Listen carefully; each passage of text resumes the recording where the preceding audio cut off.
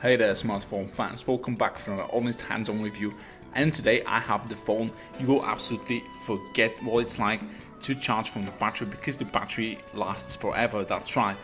Here is my 11,000 mAh Oukitel K10 in-depth hands-on review. If you're looking for that ultimate power bank phone that's also fast and is also stylish, keep watching because the Oukitel K10 might very well be your next phone. All the Oukitel K10, all the modern stuff, NFC 18 by 9 16 inch display, Full HD plus resolution, gorgeous, gorgeous letter back. This is an incredibly looking phone, one of the more stylish and unique devices on the market today, where most brands just lazily copy Samsung anyway or Sony or whatever.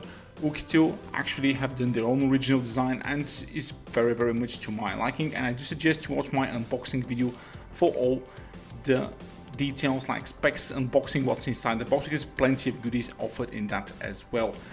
But onto the Oukitel K10 experience. This is not a very big and heavy phone guys. It's operable with one hand, it fits it on my pocket, yes it's around 260 grams, but certainly lighter than the K10000 Pro and the original K10000 as well. And the display has upgraded massively not only a Full HD Plus resolution but it's the same display as the Oukitel K6 which is incredible. Great sunlight visibility great contrast uh, very low consumption use. This is uh, by far one of the best LCD displays I've ever seen in a sub $300 phone here. Make no mistake about it, you will absolutely love watching videos over and over and over again on the huge battery of the Oukitel K10000 and as I said one hand usage absolutely no problem. And I'm not a man which has like really huge hands. My hands are actually very small. And I was able to fully operate the Oukitel K10 without any issues. And here you can see the monster brightness the display is actually able to put and even in the minimum brightness it's still okay for most days. So yeah direct sunlight no problem. You can see anything operate with the display no issues. And it's really in handy when you're driving with the GPS and you have the sun straightly against you that you'll be able to see everything in the map. And the Oukitel K10 is an excellent GPS navigator. You're looking at perhaps over 25 hours of continuous GPS navigation available on a single charge or like uh, 7 days of heavy usage 30 to 35 hours of browsing, maybe 35, 40 hours of videos, and over 10 hours of non-stop heavy 3D gaming on a single charge.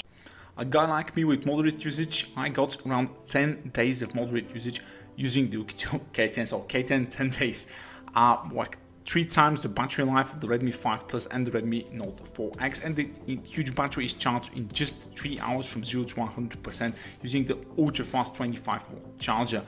This is the AnTuTu score, which is again slightly higher than the Snapdragon 625 in the Redmi 5 Plus and uh, Helio P23 is a very cool chip. Do not worry about overheating with this phone. It never gets hot. It stays around 27, 28 degrees all the time.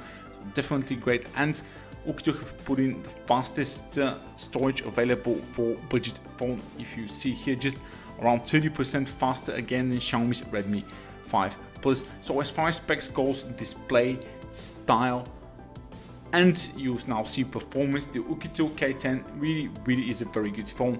Even with that huge Full HD Plus resolution, it's still being able to play the heaviest games in the Android Play Store market like Shadow Fight 3 and the online shooter World War Heroes with very decent frame rates at high graphic settings. So this is a very very good gaming phone for those of you who want that power bank gaming phone to game for hours and hours and hours on a single charge. And there's no mention saying 2D games like light 3D games absolutely fly on the Oukitel K10 and what else flies is daily driver performance. Put this baby in sports mode from the battery settings and every app will almost open instantaneously. Very very fast daily driver usage. Here switching to all your social medias very heavy apps not a problem. Browsing not a problem. The Helio P23 allows all the eight cores to work together all the time just like the Snapdragon 625 and that's how they achieve much better performance. Um, but keeping the chip cool is because it's a new revision of that Helio P25 and they've actually added a new Mali G71, late, one of the latest actually ARM Mali graphics core so you get better 3D performance, uh, better thermals, better, faster overall performance than the Helio P25 and probably Snapdragon 625 as well in the long run here. So Oukitel K10, excellent daily driver, and stack 6 gigs of RAM thanks to the Android 711 Nougat and great software optimization done by Oukitel. This is a very light ROM they're using like basically stock Android with just an icon pack. Uh, you can have 20 25 open apps in the background. And doesn't reload any of them switches between them instantaneously. As you see here. Fast split screen multitasking, perfect daily driver experience for a 200 250 dollar phone. But it's not just the phone is just not great. Of course there's something wrong with it uh, and it's the camera on paper. 21 megapixel samsung sensor should be good right? Um, oh the camera is not like horrible for instance but it's uh, very inconsistent in its performance. It doesn't like uh, when there's direct sunlight ahead of it. I think that's because Oukitel used cheaper lenses. If you have the sunlight on your back and you're in a sunny day, the camera will capture very very good photos. And the shutter speed and focusing speed on this camera is blazing fast. And does also have face detection autofocus enabled. Uh, but moving in an area where you have sunlight directly in front of you it just overexposes the images and the colors turn out very very bland as you can see here. So the camera is very picky in situations where it is actually good and the overall camera experience for me is uh, below the asking price, uh, maybe up to par with the 150 60 dollar phones on the market, uh, like the Redmi 4X or something, but it's definitely not a 200 dollar plus camera experience. Said fast shutter speeds uh, in general, very fast focusing, and just don't ever think that you can get a great low light shot with this camera at all.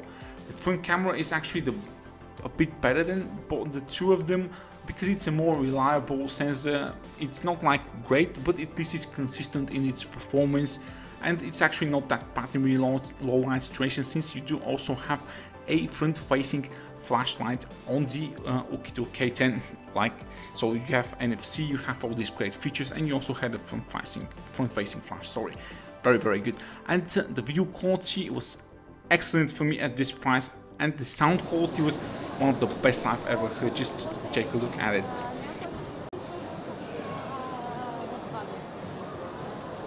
Excellent noise cancellation, very good audio quality, but there is a slight sync delay with the front camera audio the, quality. $200 when it comes to camera experience, the Oukitel K10. However, it more than excels. Oukitel arguing up to release a patch to address this audio quality issue and the facial ID on this phone only works in good light conditions and you hold it straight to your face so actually don't use that at all and the rear fingerprint scan is actually very very reliable so stick to that so Duke 2 K10 you will absolutely trust me on this you will never go back to using a regular phone after you use this absolutely battery monster um, you'll never go back on this battery life if you want this a second phone work phone if you're not that finicky on the camera experience Oukitel K10 provides an absolutely 100% excellent budget phone experience for that very good affordable price. You can buy the phone from the link in the description below. Course, give the video a thumbs up if you like it and subscribe to my channel for more honest hands-on reviews like this. And please share the videos so that your friends can also enjoy them as well and stay active, stay smart.